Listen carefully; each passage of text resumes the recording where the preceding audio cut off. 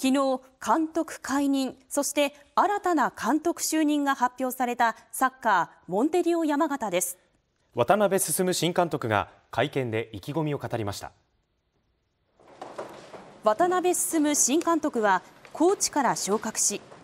クラモフスキー監督の後任として指揮を執ります。会見での第一声はまずはじめに一コーチとしてピーター・クラモフスキー監督を支えきれなかったことそして今このような結果を招いていることに非常に大きな責任を感じています。チームは現在5連敗中と不振が続きます。まあ、勝ち点が同じだったとはいえ連敗がないですとかポイントは一緒だったとしても過程があまりいい状況じゃないなというのはあの感じています、うん、何かこ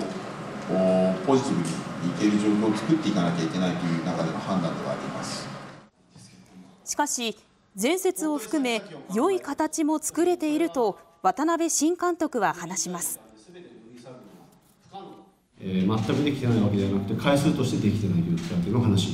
だと感じています、えー、どんどんどんどん萎縮してしまって今までやれてたこともやれなくなってしまうというのがやっぱこれ人間の差がなので、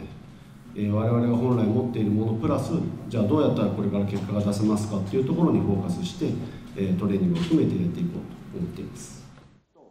新体制の初陣はアウェー大宮戦3日後に迫っています。時間がないからこそやれることがあると思います。時間がないからこそよりシンプルにやらなければいけない。逆に言うと今のチームにはそのシンプルさっていうものが求められているというふうにも思っているので時間がないということをポジティブに捉えて大宮線に向かっていきたいと思います。